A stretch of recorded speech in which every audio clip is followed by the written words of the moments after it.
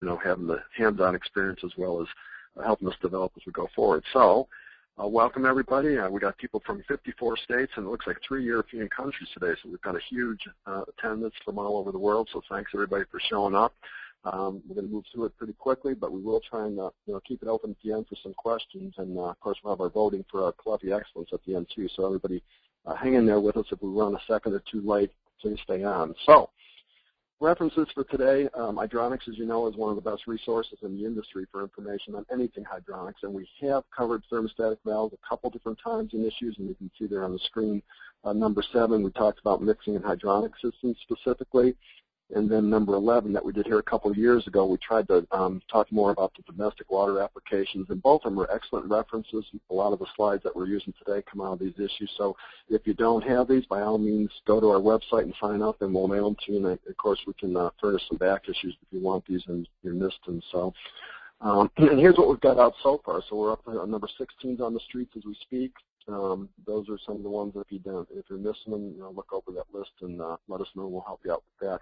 Uh, 17 will be out probably June or July. We're looking at um, uh, buffer tanks, you know, so that'll be our next topic, and then maybe water quality after that. So what we ask with these is, always, you know, any ideas that you have for future issues, we want to hear from you um, out in the field there, the engineers, the wholesalers, and installers. What can we do to help you because uh, we're here to serve. So thanks for the input. All right, so today's topic, we're going to look at the different types of mixing valves, thermostatic mixing valves, what's unique and different about Caleffi, and we've got the best person I can think of to uh, answer all those questions and go through it. So thanks, Kevin, for doing the heavy lifting and being here today, and it's, uh, it's all yours. Thanks a lot, Bob. I appreciate it. So today we'll be covering a bunch of topics, uh, namely, you know, how does a Caleffi thermostatic mixing valve actually work? Um, how to select the right one for your specific project or application and what we need to know about installation, uh, service and use, and uh, maintaining and troubleshooting. So we'll try and cover a wide variety of topics. And uh, as we go through this, please send your questions in, and we'll uh, we'll capture all those and, and, get to them at the end of the broadcast. So here we go. Let's start off with a definition. Uh, what is a thermostatic mixing valve? Uh, so it's a self-contained, thermostatically operated modulating valve. And uh, self-contained means there's no wires. It's all it's all contained within itself. Thermostatically means that it has a, a thermostatic element inside that does all the control and does the modulating. So uh, that's not the same as a motorized mixing valve. A motorized mixing valve does, does not have a thermostat, and it has wires and requires a controller and separate sensors. And Caleffi makes both thermostatic mixing valves and motorized mixing valves. We just wanted to, to define those here. In uh, basically, uh, there are two functions. The first one is regulating hot water supply to a distribution system, and there are a number of ways to do that. And we'll we'll look at some of those. Another is maintaining inlet temperature to a conventional uh, excuse me a conventional boiler, and we'll get into some more detail about that as well. So that begs the question, why not just heat the water to the temperature I need? I mean, why do we have to heat the water up to a high temperature and then mix it down to, to, to cool it off. Um, well, for heating applications, actually you, you can. If you have an electric or a modulating condensing boiler or heat pump, you can just heat the water to the temperature that you need and, and go from there. You don't always have to have uh, a, a, mixing valve.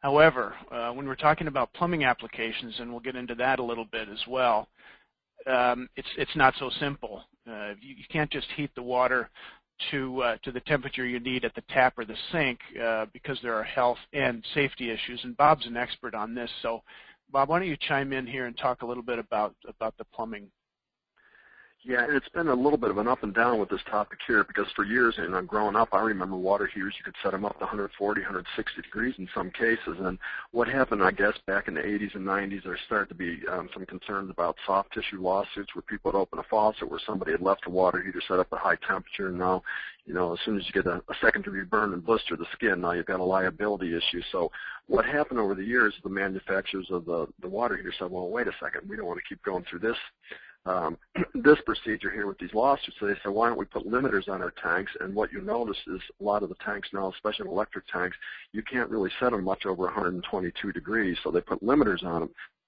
Well, that went fine for a while, and then what happened is uh, we had a couple cases of Legionella, I think we're three or four cases now in the U.S. and a number over in Europe. And they said, well, wait a second, if you're going to keep your water temperature that low temperature, below 140 degrees, you've got the potential to grow a bacteria in there, which of course is an airborne virus, and then somebody takes a shower and inhales that water, and you can uh, you can have an issue with a, a Legionella type of bacteria. So now we're back to, well, then if we're going to elevate the temperature, it's become more critical that we have some kind of mixing device on there that we're not going to ever send that kind of temperature out to the faucets, out to the showers and stuff. So now we're getting back to, all right, what's the best device to do it? How are we going to accurately do that? And it's, it's, you know, it's posing a lot of uh, questions, and uh, not all the answers are out there yet because now what's come along is saying, well, if we've got a building that's got a low temperature uh, domestic water distribution system, we might have to elevate that temperature that system, you know, once a day for a one hour period above 140 to kill any potential bacteria that's in it and lower it back down. Now, what that's going to involve, of course, is a mixing valve at every single faucet in the building, every eye wash station, every shower, every hand sink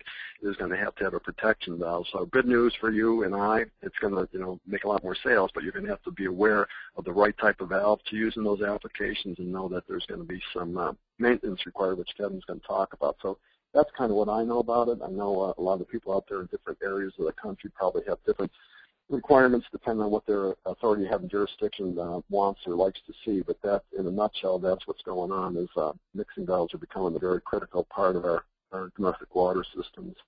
Yeah, thanks, Bob. So how do they work? Uh, this is a cross section of a Caleffi mixing valve, and basically, let me get my mouse here. The, the hot inlet uh, water comes in this port and goes through this small opening here into the mixing area uh, where the where the shutter is located.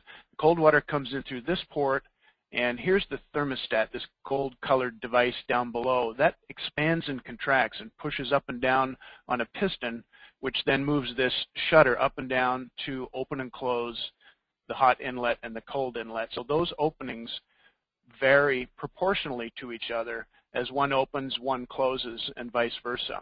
So then the water just flows through the mixing uh, chamber area all around the thermostatic element and then out the mix port. So in the Caleffi valves, this uh, particular example, uh, the, the, mix is always open. The mix port never closes. So that's that, that's you know basically how these valves work. Mm -hmm. So then, uh, as, as, far as how they work, there's a lot of questions that come up from customers uh, that I've heard on the phone, like what if uh, what if the pressures in between the hot and cold ports are different? And as we just saw, those those are right across from each other. So if you get a high ratio, uh, for example, greater than two to one is a specification on on our 521 and 5231. Get too much pressure on the hot side, for example, the cold water can't come in the cold port. Um, so you can have uh, flow problems, and the way to, to really get around that is to avoid pumping into the hot port and always try to pump away from the mix port. And here's a picture you can see, I think you can see, here's a mixing valve, and the mix, mix port is piped to this circulator, so the water is pulling out the mixing port. Same here. Hot and cold water coming in, the flow comes out the mixing port over to the circulator. And this picture happens to show uh, a Caleffi HydroLink down below, and you can see that this zone has its own mixing valve, this zone has its own mixing valve, and so does this one. So you could have three different temperatures set here, maybe for you know a low temperature, a medium temperature, and a high temperature uh, application. So pump away from the mixing port. That's a good point, Kevin, because I think what happens in some people, in fact, I've seen drawings come out of some of the designers out there that, uh, you know, some of the online designers where they're showing the pump on that return port. But basically what you're looking at there is the delta P that the pump establishes going in the hot port. So if you got a system that's got a static fill pressure of 12 pounds and you got a pump on there that's developed an 8 or 10 pound delta P, well, then you've blocked that valve from being able to accurately shuttle back and forth. So always pull through the valve, right? Yeah, that's that's the guideline. And uh, another common question is, uh, well, what if what if my flow is less than the rated minimum on our specification sheet? For example, uh, like the valve shown in these pictures has a minimum of 1.3 GPM. And what happens is is if you have a flow lower than that, then the flow profile across the, the cartridge inside can be hot and cold. In other words, the water coming in very slowly in the cold port might come down that side of the thermostat and the hot water might come down the other side. It's not mixing and giving the thermostat a good blended temperature to work with. And so the result is you might have hot or cold slugs of water coming out of the mix port uh, if you have just the flow that's too low. Mm-hmm. And so the uh, stability so if, of it goes away basically. The stability, and, and it may be just fine. Actually, it's hard to predict because it all depends on the piping dynamics, right? It, it might work just fine to a certain point. Uh, it's yep. it's hard to tell. Um, I mean, if you're getting decent mixing where the cartridge is, then it'll still control. It might hunt a little bit, but it'll still do a decent job. Mm-hmm. Um, now, uh, what if I have too much flow? Of course, then we're looking at noise, high velocities in the pipe, erosion across the brass uh, and the copper, and the, the control element could also, again, be uh, uh, unstable at, at really high velocities. And I think, Kevin, don't we include a, a, in some of the valves, we have a chart that shows the pressure drop. Like if you have a valve, for instance, of a 3CV, we'll have a chart that will show you if you're trying to pull, you know, 8 or 10 or 12 gallons a minute through there, what that does to the pressure drop. And really, you know, right. a valve could probably handle some of those high flow rates, but if you think about it, if you're putting a three-quarter mixing valve in a system, you're really limited by the pipe size. You're not going to put 10 gallons a minute through a three-quarter copper pipe, so it's not just our valve that's putting some limitations in the flow rate through it with this 3 CV valve. You know, we're not going to put much more than, you know, 4 gallons a minute through a three-quarter copper pipe anyway. So keep in mind, it's right. just not the flow going through the valve, it's the pipe and the fittings and anything else downstream. Every, everything else, right. Yeah, right. Into the play. Good point. Thanks. So here's a nice picture um, from uh, Brian Slavinsky. Here's a mixing valve right here. Here's a 521, and this is a, this is a great picture because it shows here's the hot water heater, and the hot water is coming into the mixing valve, the cold water. The pump again pulling the water through the mix port and then on down to this three-zone system here. Now you notice also that this hot water pipe uh, there's a nice uh, air and dirt removal device, but that's also going directly to some zones. So here we have a two temperature system. This is one temperature, probably mixed down to a lower temperature, and these six zones over here are probably a higher temperature. Maybe they're um, some panel radiators or something like that, and maybe this is uh, uh, this other one is mixed down for an in-floor application. I like that. I got one of our autofills in that picture too, so thanks for yeah, yeah, that was a great that was a great picture. So we sometimes get the question, what's this spec item about having a minimum temperature difference between a hot water inlet and the mixed water outlet for optimum performance? What that's really referring to is you, you need to have enough hot water at the hot port to be able to deliver the set point that you have out of your mixed port. In other words, and you're talking if you're temperature hot, there the, the, the temperature, right? The, the hot uh, inlet temperature. If your hot inlet temperature is too close to your setting, then uh, then then the thermostat is actually operating really close to the end of its stroke because the hot port is going to be pretty much full open and the cold port will be almost fully closed. And so the thermostat doesn't really have any cold water to work with. So you get much better response in operation if you have a hot temperature that's that's um, significantly higher than your mixed temperature. And the spec on this valve is 27 degrees, so um, that's that's a good guideline, something to keep in mind. And the same thing there, Kevin. I think it doesn't stop working completely if that temperature delta T gets close. It's just the, the stability of the temperature mix starts to go away because, like Kevin said earlier, the temperature going around that sensor isn't, uh, you know, accurate enough to allow that spool to move up and down and accurately set it. Right, so, right. I and, think and 27 like, is what we say. Yeah, 27 is the spec on that valve. And like any control valve, you want to operate within a good throttling range. You want to don't you don't want to operate near the end of a stroke of a valve in any kind of a control condition. Mm, good point. So um, we we get questions about check valves. Um, we we highly recommend installing the check valves, and in fact, the, the the uh, point of use mixing valves, the ASSE 1070, which we'll talk about later, they require check valves. But on the, uh, the 521s, uh, you can see the picture here.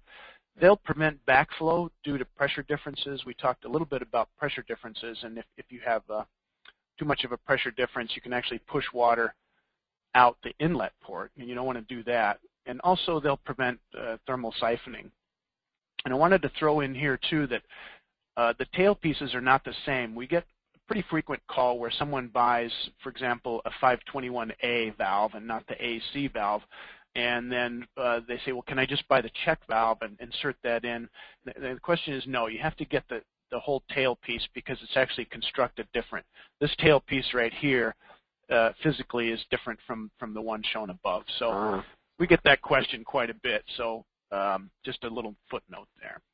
And also on that, Kevin, if it's a check valve that uh, has a solder tailpiece, you need to remove the check valve before you solder it so you don't uh, overheat that check right. valve and then cool it right. off don't... and then pop the check in after you're done uh, making your solder connection. Yeah, don't don't solder with those in there. Only have to tear them out and buy a replacement. Okay. So speaking of check valves, here's uh, wow. That's a big two-inch uh, 5231 mixing valve with the new stainless steel check valve accessories. Um, that's that's a monster. Uh, that's a big. So that's that's an add-on. So that valve you can buy with the tail pieces that go right onto the valve, or if you want to add the check valve, in this case here, it's another centerpiece, which is that stainless steel spool that you see in there has the check, so they can be added in. Just know that your dimension, of course, changes a little bit, but right. instead of putting it in the tail piece, it's an optional piece. That's a beautiful. That's a paperweight. Yeah, you can get a good workout with that one. But yeah, those Stainless check valves are actually male by female, so you just fit them right in between uh, the tailpiece fitting and the valve body. Nice. Yeah. Looks custom. Okay, uh, now let's let's talk a little bit about applications. Um, this is a basic example of, of mixing high temperature boiler supply water. So here we have a conventional boiler with the circulator and uh, I just have a generic box right here. Let's just call that a generic mixing assembly box. And uh, what we're doing here is, is actually two things. Uh, in this diagram, this mixing assembly is doing, uh, doing is controlling the boiler inlet water temperature. So there would be a mixing valve right here, and it's also controlling the supply temperature out to this low temperature distribution system. And this particular diagram is a little is a little complicated, but what it's showing is, is sensors in here. So this diagram means that there are controllers involved, and the two motorized mixing valves in this mixing assembly are, are not thermostatic. And I'll show you some of those later, but because there's a sensor here, that means it's wired to a controller, and this is a motorized mixing valve, and so is this because there's a sensor out here. So the boiler, so boiler inlet protection. Sorry boiler protection so, is what we're trying to provide here, so we don't condemn yeah, that. This, yep. So this sensor right here is wired to a controller, which in turn will control the boiler protection boiler protection mixing valve that would be yep. located right here. Okay, this supply yep. temperature sensor here is wired to a, in this case, a reset controller, because we're doing outdoor reset, and is controlling the water temperature out to this low temperature distribution system. So just a real brief overview of reset. What that is, is you can increase the temperature of the water going to this low temperature distribution system as the outdoor temperature drops. For example, this is a reset curve. As the outdoor temperature drops from 70 down to minus 10, what you do with the reset controller is you raise that water temperature from 70 up to um, 104 or whatever this is. So as as the outdoor gets colder, you provide warmer water to this low temperature distribution zone. So that that can only be done with with an electronic um, uh, reset Operator. controller. Okay. Yep. So the same we can do the same thing here, just like we show with thermostatic mixing valves, uh, but then you don't get reset. And actually, I have a chart that shows that a little little further down. Okay. Okay, so taking that a step further, you can do the same thing uh, with two separate systems. Here's a mixing assembly that would serve a higher temperature distribution system. For example, um, you know, maybe um, uh, baseboard radiators or, or something that requires higher temperatures. And you can do another temperature. Like this one shows a medium temperature distribution system. Maybe that's for some panel radiators. So in this assembly, it just takes the last diagram one step further, and you know that then with one conventional boiler, you can serve multiple temperature hydronic systems. And, and uh, you notice too, there's and and still have boiler protection, right? In this case, we'd have a boiler protection valve here and a boiler protection valve here, and they're in this in this case, of course, they're both sensing temperature right here, going back to the boiler. So that shows you can do multiple uh, supply water temperatures. Mm-hmm. And different reset curves on both of them too. And and different reset curves, right? When you use electronics.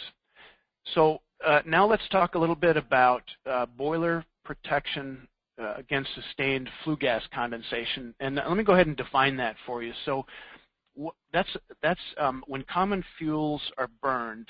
One of the products of combustion is water, and as long as the temperature in that burn chamber and the flue are, are hot enough, the water you know is superheated vapor and is carried up up the flue and then you know uh, goes outside.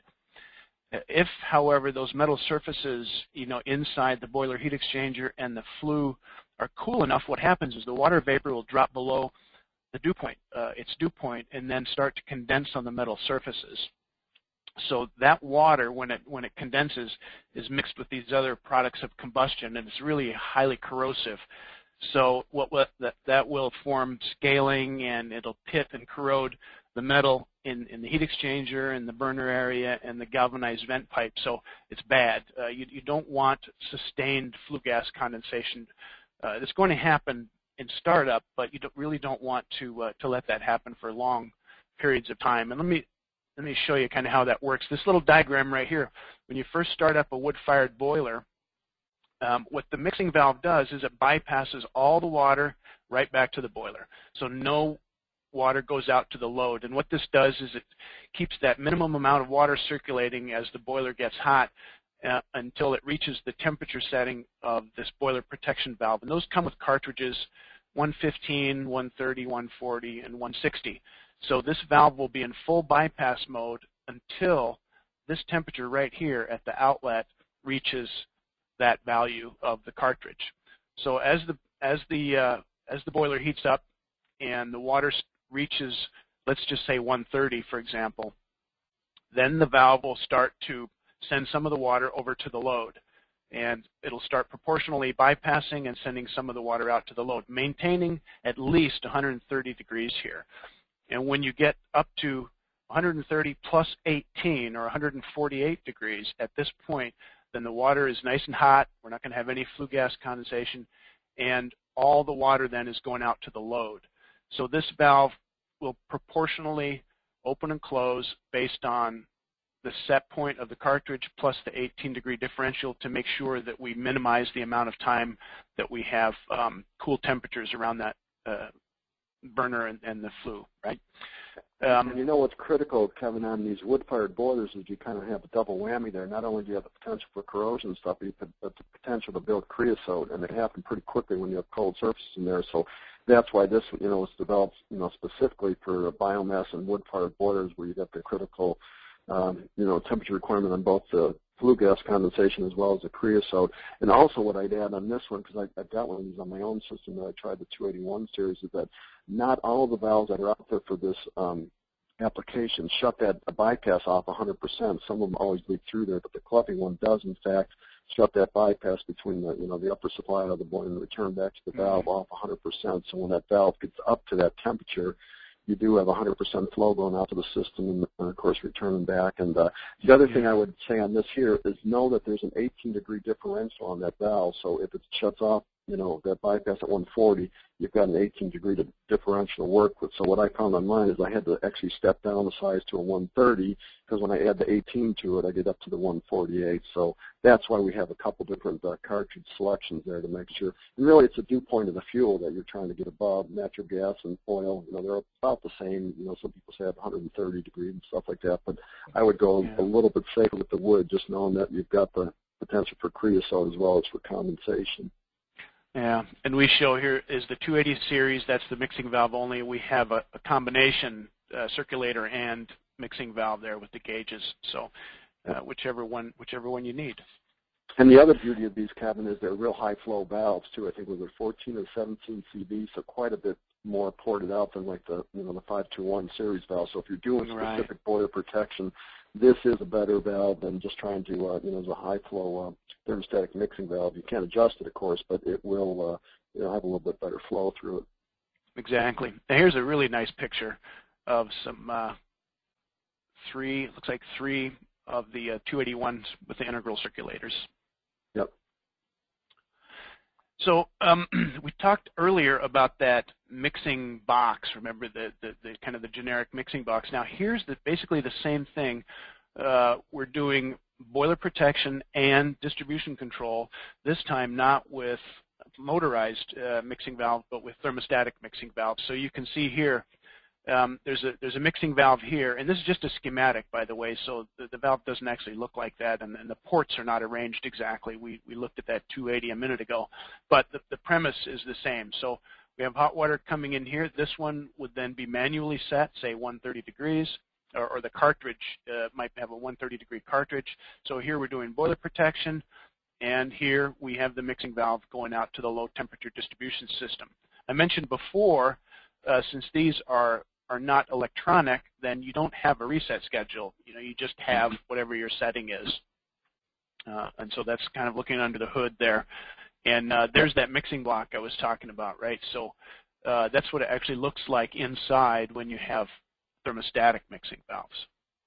Nice. Now, one word of caution I would throw in here, just from experience with these, is the flow rate of that valve. You know, on our 521 series, we're looking at maybe a 3 CV valve, which means 3 gallons a minute at a 1 psi drop. So just be aware that if you got a circuit out there that needs 80,000 BTU or 8, 9 gallons a minute, you know, that valve isn't going to be comfortable trying to flow that kind of rate, you're going to need a pretty supersized pump. So just keep an eye on that CV and what you're trying to do with the valve. It's not as critical on the domestic water application. We've got a lot of pressure to drive that uh, through the valve, but when you get a little pump that only develops 6, 8 uh, pounds delta P, you got to make sure that that valve is going to be able to, you know, flow enough to provide your circuit. Because we'll get guys who say, "Oh, I guess you know it's real cold outside. My my radiant's falling behind. What's going on?" Well, yeah. you don't have enough uh, flow through that um, that valve. Right.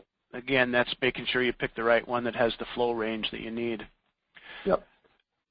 Okay, so also uh, solar applications. Mixing valves are used in solar. Here's a picture of one uh, that's used on a Caleffi SolarCon tank. They're a little different looking. They have the yellow knob. Ours are um, have the chrome plating on them and a slightly higher temperature rating because SolarCon tanks, uh, you know, you can run those up pretty hot, and you do want to do that and collect as much solar energy as you can and, and keep that tank as hot as you can. Um, so they have a slightly higher temperature rating of 210. It's just another uh, model. It's a 2521 instead of a 521. Otherwise, they're quite similar. Yeah, and, and you know, I've had people say, well, why did you decide on 210 for that? Well, most of the uh, water heaters are going to have a temperature and pressure relief valve on that are set at 210 degrees. So obviously, we're not going to see a point where we've got above 210 degree uh, temperature in the water heater. We're going to top our uh, the temperature function of the relief valve. So that's why that one goes yeah. up another 10 degrees. And the, I think is the other one 200 degrees, Kevin, on the standard, and then that goes up to 210 on the solar version. Yeah, I, th- I think it's I think it's 200. Um, yeah. Uh, yeah, actually, it is. It's 200. So here's a picture of, yes? Could you back up this, Mark? A question just came in on that solar application. Uh, and, and, Bob, too. Um, this is a single tank application where the backup and the uh, solar tank are all one tank.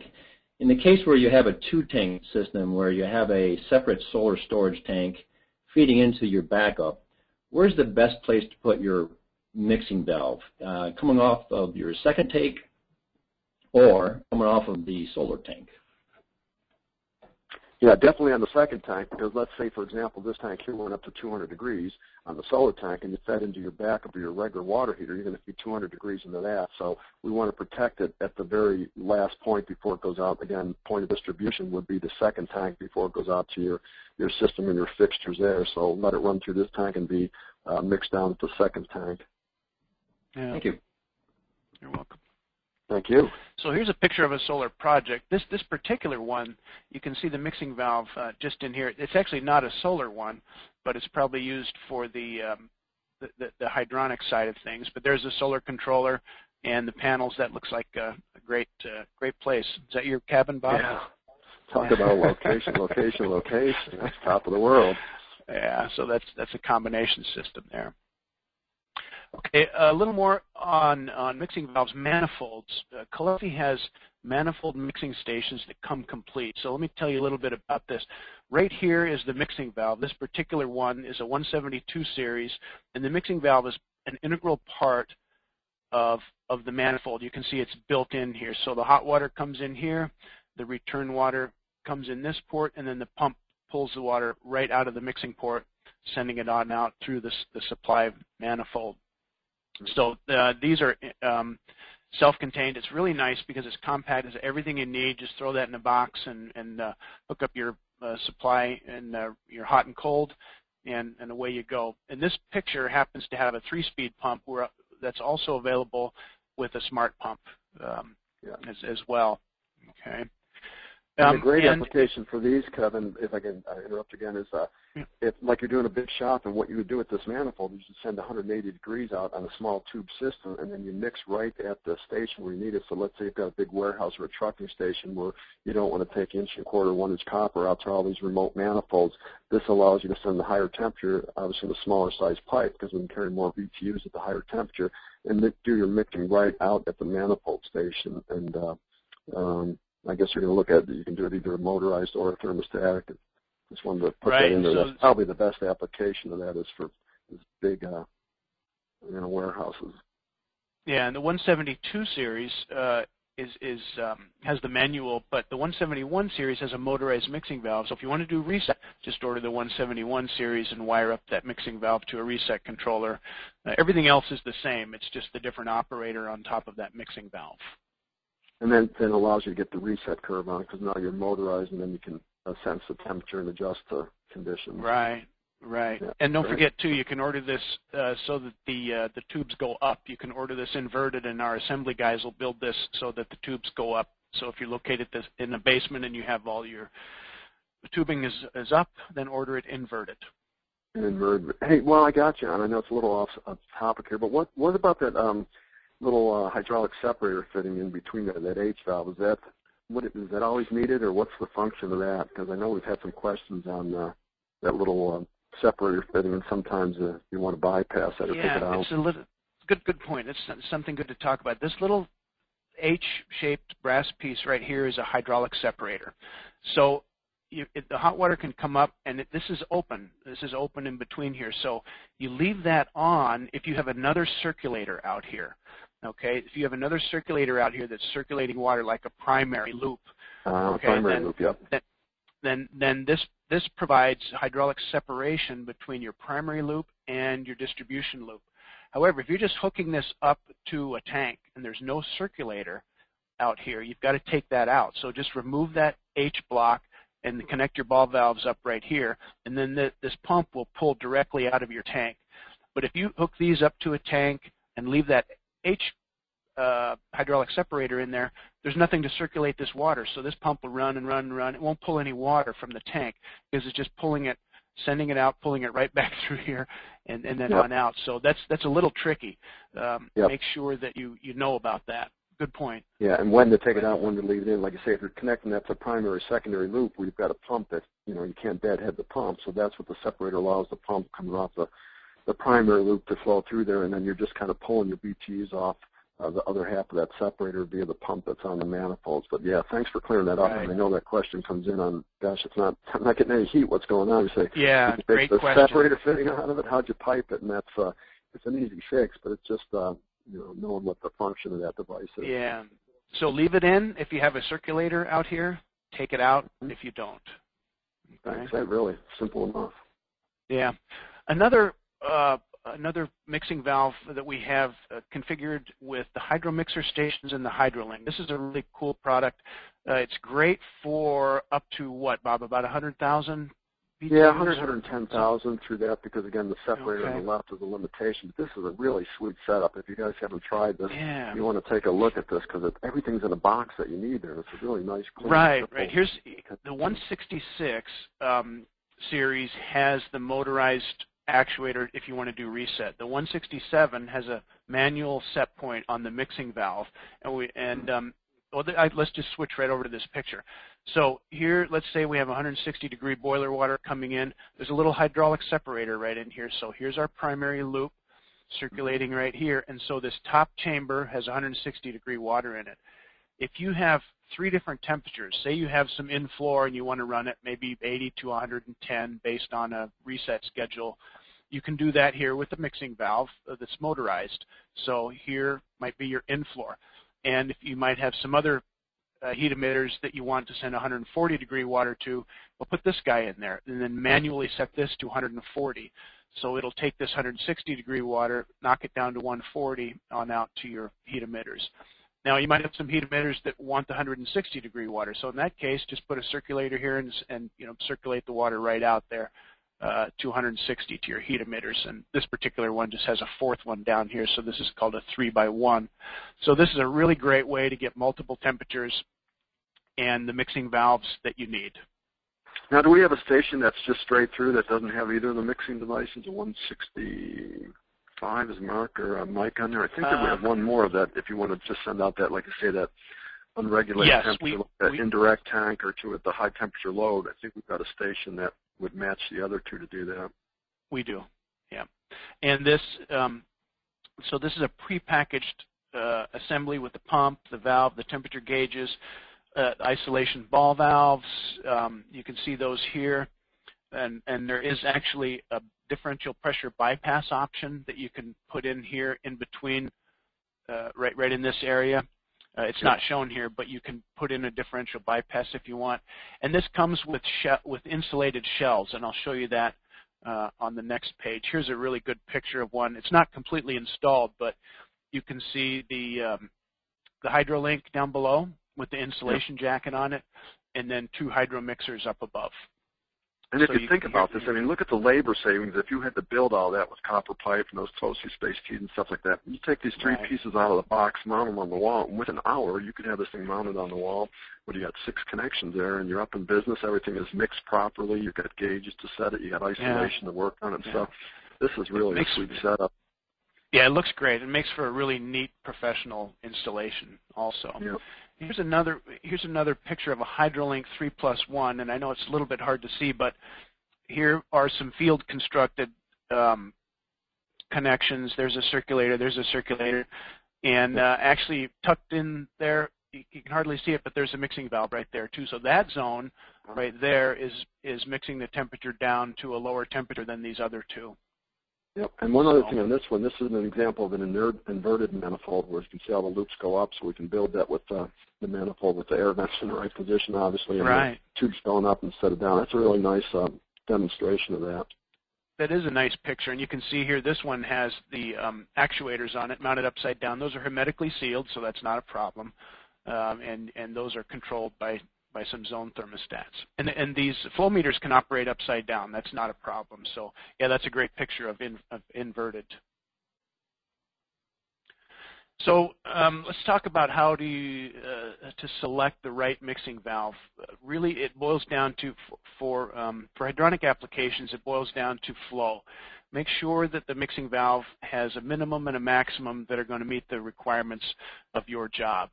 Um, you know, besides the connection sizes, of course, you know, get the right tail pieces you need, but really uh, it's the minimum GPM and the maximum GPM that you want to make sure mm-hmm. um, you're going to be able Kevin, to handle. I think you you actually uh, physically walked through the testing out at IAPMO with one of our valves, so you, you, saw that it's a really stringent test that you have to pass with these valves. At, at the very bottom there, we're saying the temperature stability. I mean, to meet that code and to get that certification, it's got to be a very accurate plus or what plus or minus three degrees. It looks like you're saying there. Right. Uh, that yeah. was quite a quite a thing to see them test that valve and how uh, how strict they are on that on that certification. Yeah, and we talked about what happens when you go below the minimum or above the maximum. So really, it's it's mm-hmm. all about making sure you have the, the valve that's going to handle the GPM for your project. Mm-hmm. Um, um, now, once in a while, uh, we have a requirement, and we do get calls on this. You know, we, we talked about, let me just show you again real quick. So this valve right here might have a 4.4 to 40 GPM range. Um, what if you have a project that really needs like 1 to 50 GPM? Uh, we get that call. And um, uh, sometimes it's referred to as a high-low. And what you can do, and here's a couple of pictures, is you can actually pipe mixing valves in parallel. This picture here shows uh, a large, this is a 5231 valve, and then behind it, it's a little hard to see, is a 521, and they're piped in parallel, and there is a PRV piped to the mixed outlet of the big valve. And what that does, and this this is same, this is another project. Actually, was in a restroom in a in an airport, if I'm not mistaken. But you can see there's a small mixing valve here and a larger mixing valve. And just briefly, the way that works is once the pressure in the supply line going out drops to a certain point, at the point at which this valve is completely maxed out, it can't flow any more water, the pressure here will drop to the point, and that at that point is where you set this PRV to open up. So the PRV is normally closed while this valve is, is uh, controlling the flow. And then when it becomes completely uh, starved or unable to, to deliver the water, this will open up and then you'll get flow through the big mixing valve. So it's it's a it's um, you know a small uh, and uh, and a large one kind of staged, if if you will. Uh, now, there's a little bit of work. I I got to tell you, it's, it's it's a little bit of work to set up. Um, you, you mean you have to play around with this. It really depends on on your system, but we do see customers doing that, and it is one solution. Uh, but Bob, what what are your thoughts on this? Yeah, I mean, and and you know, the application would be for this. Let's say you've got a maybe an airport or something like that, where you've got a bunch of hand sinks, and maybe there's a hundred hand sinks in the O'Hare Airport. If somebody opens one faucet, they've got a what half GPM flow or something like that obviously with that big two-inch valve or whatever that might be in the picture there, you're not going to be able to regulate that temperature accurately because you don't have enough flow to get that stability at that low flow rate. So that's where we need the ability to regulate down at the very lowest flow that you can expect going through the other one. And then of course, if everybody opens the hot water faucet at once in the airport, you yeah. got to be able to supply that demand too. So yeah. I guess the only thing I would do there is uh, ignore the color of the handle on that one valve. But other than that, yeah. it's a great, uh, but we're looking at great this. Uh, look at it. Yeah, we, we don't currently have a, better solution than this, but we are definitely looking at it. There are companies that do make uh, high-low mixing valves. So I just wanted to throw this in here because it does come up from time to time. Yeah, even on big homes, we can run into that where they've got big body spray showers or something like that, and they want right. 12, 15 gallon a minute flow. So they they select a valve that can you know handle that. And they say, oh gosh, we're getting kind of thready water temperatures when we just open the uh, the hand sink down in the lab, and yeah. that's the issue. They don't have the the resolution on the high end and the low end because the one valve just it, I don't think you can make a valve a thermostatic valve that can do that. I mean, it's just not possible to make a valve that can be accurate at a half GPM and at say you know 20 or 40 gallon a minute flow. Yeah, Other than maybe a motorized tough. valve could do that. I know you've got some experience with motorized. Maybe that's another option. But uh, really, the thermostatic is the go-to valve for this type of application where you're trying to accurately mix and you know, and it's a portable valve, and it does have a wide range of uh, uh, uses, both on, you know, dom- domestic water and radiant. But just know the limitations and when you have to, uh, you know, look at a dual right. valve setup or something like that. Right. So switching gears just a little bit again, uh, let's let's talk about selecting the right mixing valve for plumbing applications.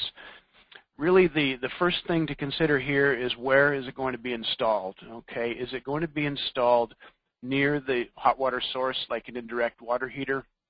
If it is, uh, that's called a point of distribution valve, and, and th those valves are going to have an ASSE 1017 rating. Um, that's a standard that uh, that a, a, point of distribution valve has to has to meet if if uh, someone wants to market their valve as as an ASSE approved valve. So that's one location.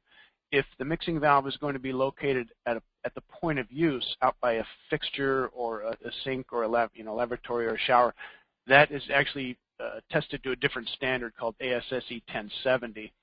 So those valves have some special functions, and I'll talk about that on the next slide. But um, they are anti-scald valves. That's another term for an ASSE 1070 valve. It's an anti-scald valve to protect uh, from burning a person's skin.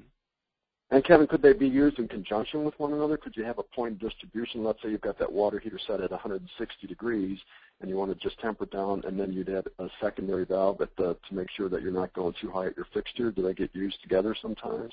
Yeah, yeah, they they do, and and there are uh, instances where you want to have both. In fact, um, ASSE 1017, the actual standard. Let me just read a quote here. It, it says this class of valve, the ASSE 1017, is intended to be installed at the hot water source. These devices are designed for primary automatic control of the hot water distribution temperature within a reasonable degree of uniformity.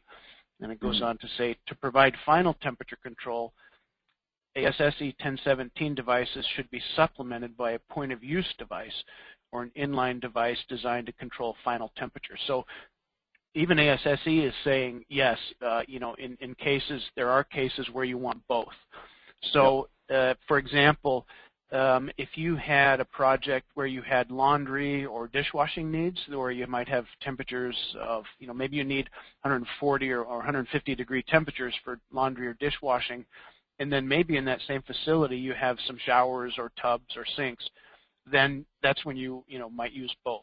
You would use the uh, point of distribution valve and a point of uh, point of use valve, uh, you know, to protect for the showers and tubs and faucets because the ASSE 1017 valve does not provide that scald protection, so that the one that's located near the heat source does not provide that safety. Um, in fact, it can be set up to like 150 degrees. So there are cases when you would have both, yes. Yeah, absolutely. So um, let's hear some special information about the 5213. This is the Caleffi point of use valve. It has some stringent requirements uh, it prevents the flow of water discharging from the mixed outlet. Well, you can read that in, in the event of failure. So that's one of the special functions about an ASSE 1070 valve is that it will shut off and, and you know, as, as a safety feature. Uh, it has some different specifications too. The differentials are different, uh, and it goes down to 0.5 GPM. So that one, being a point of use valve, it has to go down really low, and uh, half a GPM is the minimum on that. So that's the smallest mixing valve that we have in terms of CV. And that one is chrome plated because typically it could be in an application where you'd see it like that under a sink or something like that, so it looks a little bit nicer to have a. Yeah, it just looks also, a little nicer. yeah. yeah, and that one you need a tool to adjust it to. You can't. Somebody couldn't just reach under that sink at the at the airport and just start changing water temperature. It's got to have a, uh, I guess, in our our cap of our valve there. You take that off, and the wrench is actually molded into the handle that you adjust okay. it and you snap it and locks it. Okay. Yeah. Yeah.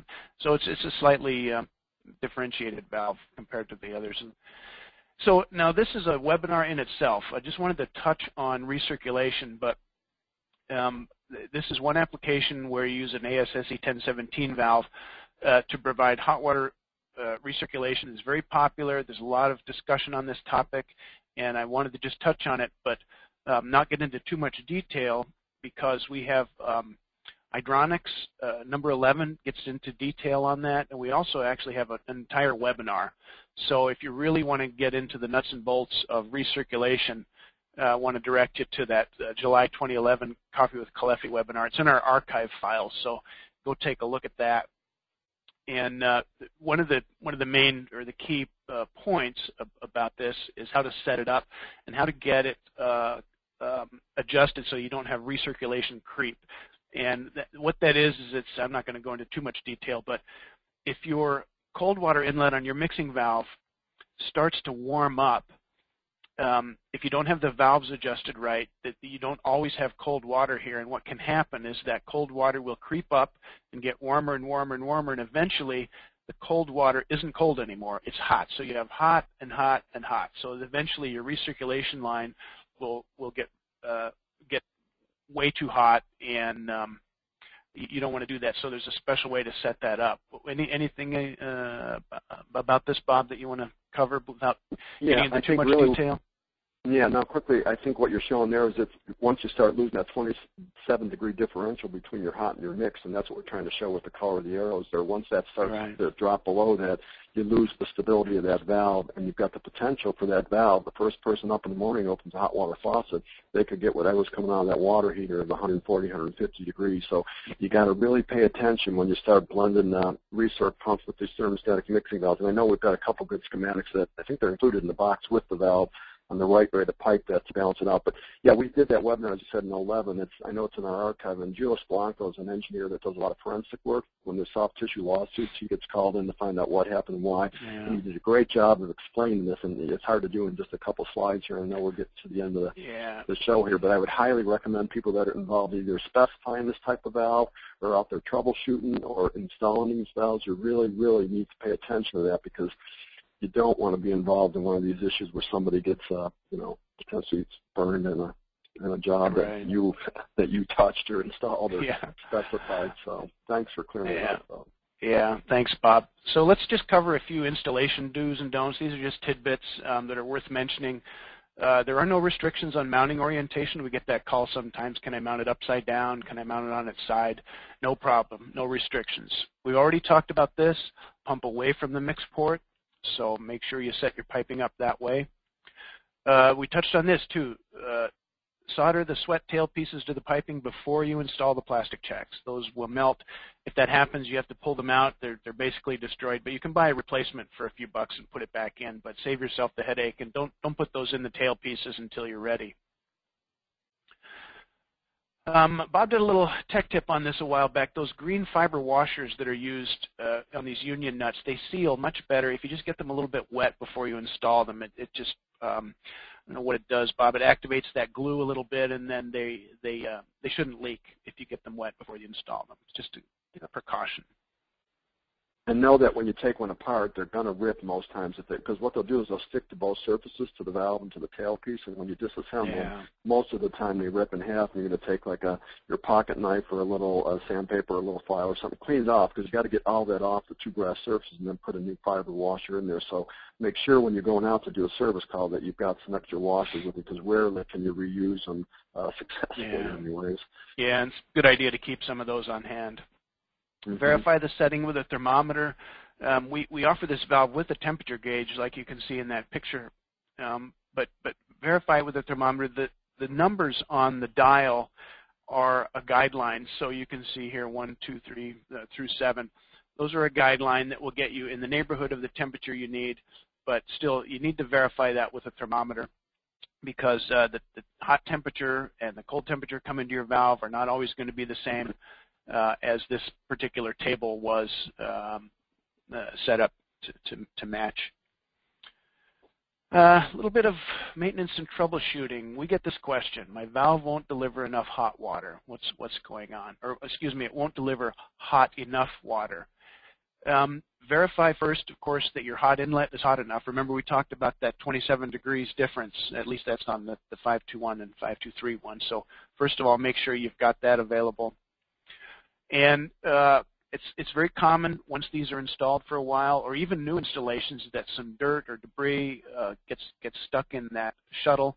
Uh, on a new project, you might flush some Teflon tape or, or some uh, copper shavings or something into the pipe and, and get lodged in there.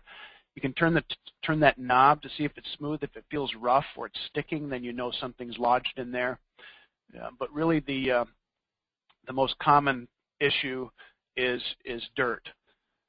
So if uh, if the valve is delivering hot and cold slugs, could be the same thing. Uh, could be dirt and debris, or if your flow is lower than the specified minimum. Remember, we talked about that as well. So make sure your flow is above the minimum rating for the valve.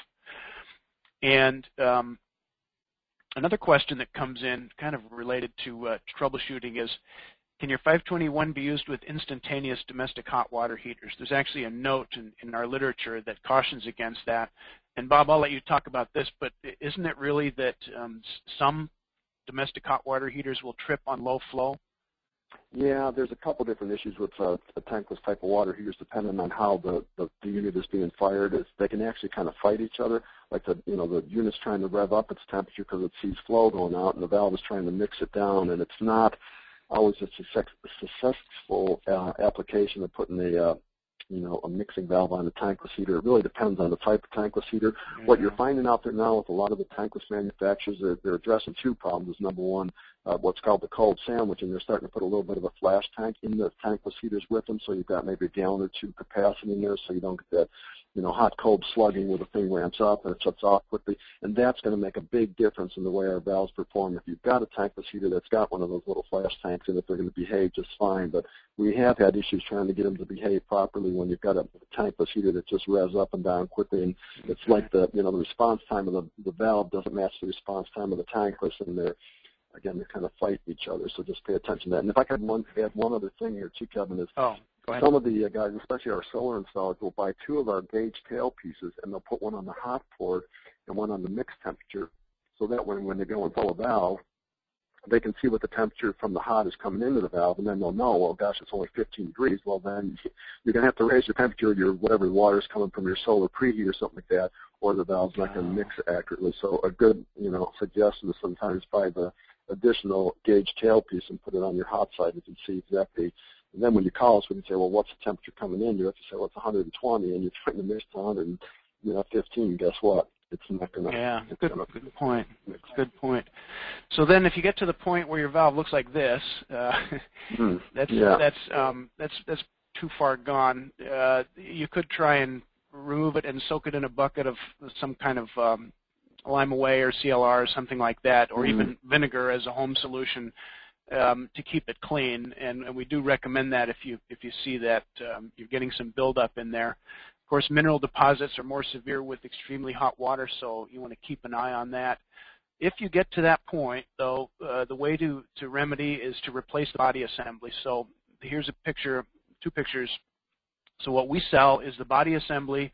Uh, you just uh, under the unions, pull the old body out, put this one in, put your new washers in, and away you go. So you don't have to take it apart, get inside, and, and spend all that uh, service technician time trying to replace a cartridge, just replace the whole body. That's our solution.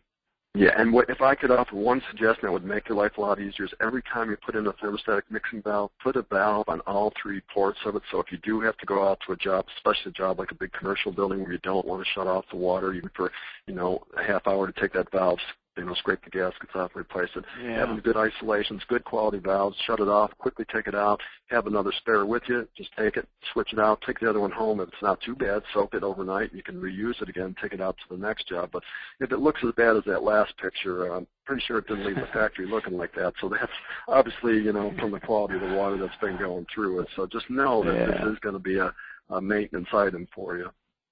Yeah, and uh, just just to finish up quickly, I just want to remind you of a couple things. There's that gauge adapter that Bob talked about. That's available separately. Uh, remember that our 521 and 5231 are low lead certified, so that means that valve or those valves can be used for hydronic or potable. And by the way, Caleffi was a pioneer, uh, you know, uh, in, the, in the early days when low lead became law. So those valves uh, have been out there for a while. And don't forget about the adjustment knobs. And uh, we don't need to go into detail here, but we've got some other information that show you how to set and lock those adjustment knobs to prevent to prevent tampering. So um, we're a little bit uh, behind, so I want to scoot and uh, go ahead and move on um, to the next slides. So I'm going to turn it back over to Bob to to wrap up. Thanks, everybody.